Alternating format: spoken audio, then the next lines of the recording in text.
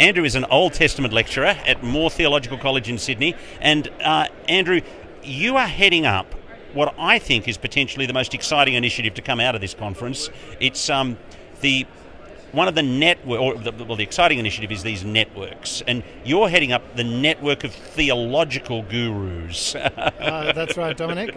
We don't call ourselves gurus, but I know you mean. and you are going to be meeting with people involved in theological education um, from all around the world across the GAFCON movement. So tell us, um, tell us uh, what your aims are for this week. Our aims are to talk to one another, to listen to one another, as we've been doing for the last 10 years, mm-hmm.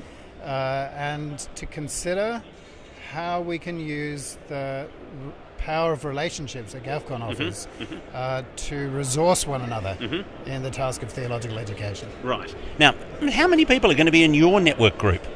Uh, there are about 50 of us. Mm-hmm. Right. And we come from about 20 theological colleges on every continent uh, and a few people involved in uh, other forms of theological education as mm-hmm. well. Right. And um, w- how do you think uh, you're going to be able to be helpful to each other?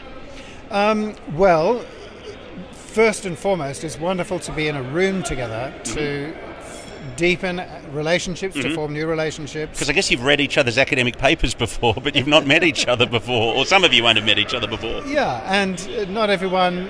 Uh, we're more into pastoring students mm-hmm. than uh, being academically impressive. Yep. I mean, obviously, uh, academics matter, mm-hmm. um, but we're about finding ways to produce the right sort of graduate mm-hmm. that the churches need, right. which is the same sort of person in every part of the world. Yeah. Um, yeah. You know, somebody who loves the Lord Jesus, uh, who is equipped to proclaim the gospel and defend the gospel and build up the church. Mm. Uh, and so, really, our focus is not intellectual ideas, our focus is people. Right, yeah.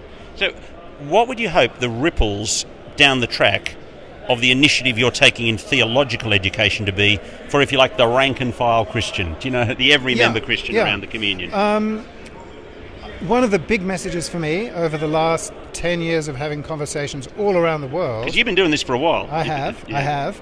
Is that uh, theological education is not the businesses of the colleges in isolation, it is a partnership between the colleges and the churches.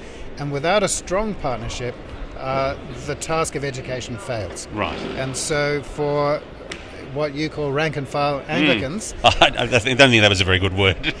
um, the take home is um, be interested in knowing God better through the scriptures. Right. Uh, in training one another to be able to explain the Bible and the gospel to one another, uh, to the world, the better equipped ordinary Christians are uh, to know and tell the gospel. Mm-hmm. Uh, the better the quality of students we come uh, get into the colleges, the better the ministers are that go out and then teach the people. There's a mm. uh, a relationship that's yep. incredibly important. Great. Thanks very much for talking no to us. Problem. Dr. Andrew Shead there from Moore Theological College in Sydney.